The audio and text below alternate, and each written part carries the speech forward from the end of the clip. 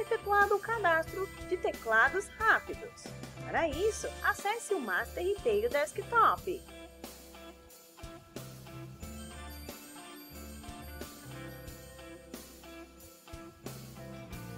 Em acesso ao Master Retail, localize através do menu Cadastros a opção Teclados Rápidos. Clique no botão Mais Novo para dar início ao cadastro. Defina uma descrição para o teclado. Defina uma cor para o ícone do teclado. Defina a ordem em que ele aparecerá. Logo abaixo, adicione os produtos nos botões do teclado.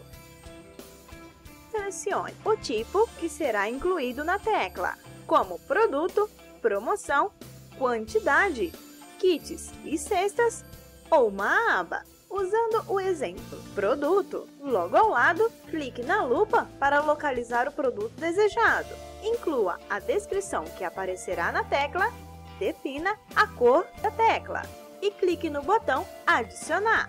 Da mesma maneira, pode ser adicionado uma promoção. Selecione a promoção, digite a descrição e selecione a cor da tecla. Efetue o mesmo processo para os demais tipos. Abaixo do teclado, localize a loja relacionada ao teclado, localize o PDV que pertencerá ao teclado e determine a ordem em que o teclado aparecerá. Clique no botão Salvar para finalizar o cadastro.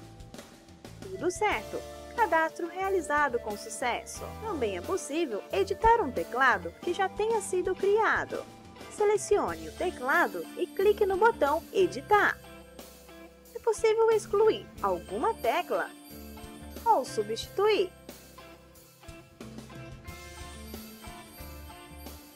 Para finalizar a edição, clique no botão Salvar. Tudo certo, cadastros realizados com sucesso.